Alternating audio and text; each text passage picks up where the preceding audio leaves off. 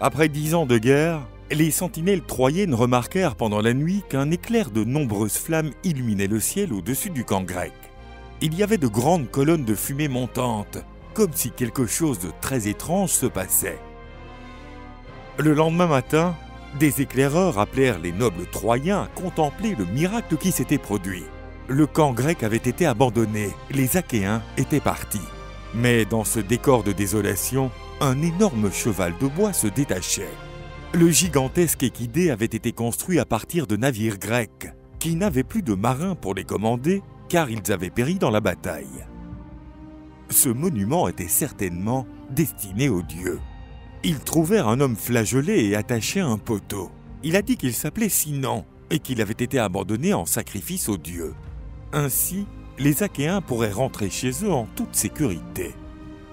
Sinon fut interrogé et on lui demanda pourquoi les Grecs étaient soudainement partis après avoir enduré un siège de dix ans.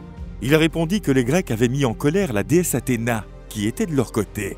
Elle avait été profondément offensée par le vol du palladium, qui se trouvait dans le temple de la déesse à Troie. En conséquence, une grande peste se répandit parmi les Achéens. Sans le soutien divin, les Achéens comprirent qu'il était impossible de conquérir Troie et décidèrent de rentrer chez eux.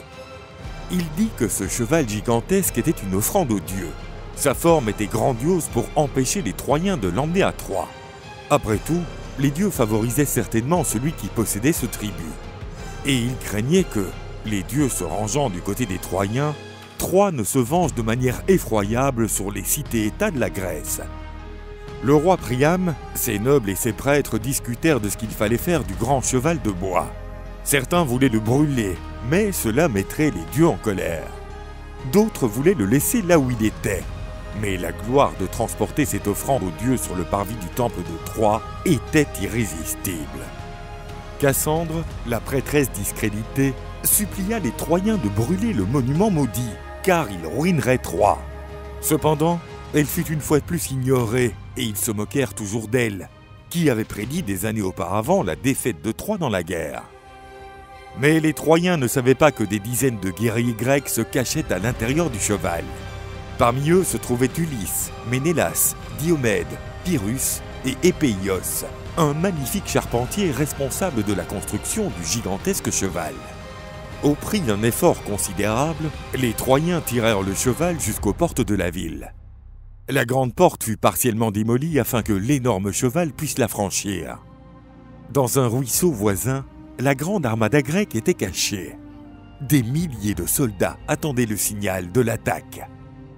Le grand cheval de bois fut placé au centre de la place du temple, à l'intérieur de la ville de Troie, et un grand festin commença. La ville entière célébrait la victoire sur les Grecs après dix longues années de guerre.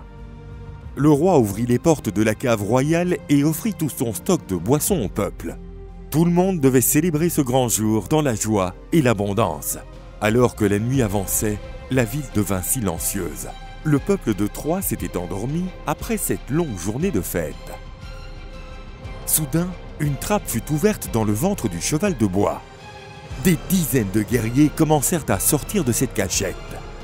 Les Grecs entamèrent furtivement leur chemin pour contrôler les portes de la ville. Les sentinelles furent surprises d'être attaquées par derrière par les héros infiltrés dans la ville. Au sommet du mur, un signal de feu fut envoyé aux dizaines de milliers de guerriers à l'extérieur des murs. Les portes avaient été conquises. Conduite par Agamemnon, la gigantesque armée grecque prit d'assaut la ville et déclencha un bain de sang massif. Les jeunes hommes et femmes des armées n'étaient pas épargnés. La rage sanguinaire des Achéens semblait illimitée. De nombreux Troyens, même sans armes ni armure appropriées, tentèrent d'arrêter l'avancée grecque.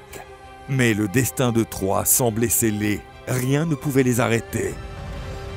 Le fils d'Achille mena les hommes dans l'assaut final du palais royal, dernier bastion de la résistance troyenne. La guerre de Troie touchait à sa fin.